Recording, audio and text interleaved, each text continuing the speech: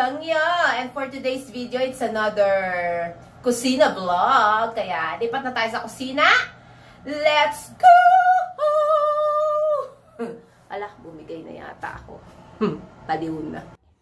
Surprise! Ayan na nga mga friends. Ang lulutuin ko ngayon ay ang paa ng manok. Natakam kasi ako. Kaya, ang ginawa ko dyan, ah, tinanggalan ko siya ng mga kuko at paulit-ulit ko siyang nilamasan ng asin. Paulit-ulit hanggang sa tingin ko ay malinis na siya. Kaya ngayon, ang susunod naman, pagkalinis ko, yan, magpapakulo naman tayo ngayon ng tubig. Yan. Ilalaga ko siya. Yan. Ilagay natin na yung manok. Yan. Inilaga ko na yung manok. Ilaga natin. Hanggang sa yung tingin ko eh lagan-laga na siya yung malambot na malambot. Yun ang masarap sa sa sa paa ng manok yung medyo humihiwalay na sa buto, 'di ba? Kaya hintay lang natin siya na lumambot, saka natin siya ia-adobo. Ayan na siya. Kumukulo na siya. Bilisan mong maluto para maadobo na kita. Tanggalin natin ang mga bula. Dahil yan ay marumi. And finally, ayan na. Yung inilaga kong paa ng manok. Humihiwalay na yung balat, ba? Kaya ready na siyang i-adobo.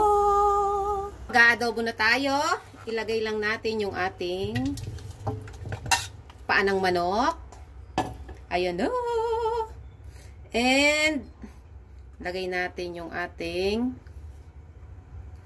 toyo. ang lagay ako ng isang basong tubig. At yung bawang, mas maraming bawang, mas masarap. At isang kutsarang asukal para may tamis-tamis. Hmm. At, syempre, Lagyan natin ng pepper. Pepper, pepper. Paminta, paminta. Diba? Ayan. At ang aking Siyempre, mas masarap to ang maanghang-anghang. Lagyan natin ng sili. Ayan. Hintayin lang natin siyang kumulo. Kumulo, kulo, kulo. Yan. So, hintayin natin kumulo. Then, mamaya add natin yung vinegar natin. See you later! Na! Kumukulo-kulo-kulo na. Ngayon kumukulo-kulo na, pwede ko nang i-add ang white vinegar. Yan. Ngayon ko palang i-add yung white vinegar. Dahil gusto ko lang, 'di ba? Kaya ayan. And pag once na nilagay natin yung vinegar, wag nating haluin, 'di ba? Hintayin nating maluto muna siya. I'm so excited. Mapapasa akin ka na mamaya.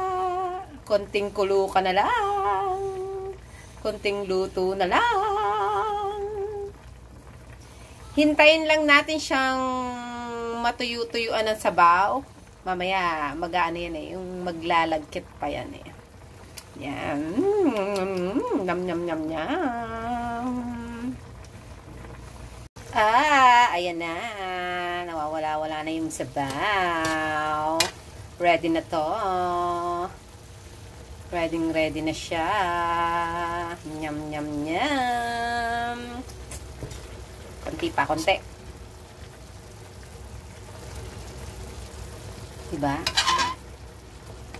Woohoo! At ngayong luto ka na, pwede nang kainin. Woohoo! Ayan na! Tapos na! Luto na siya!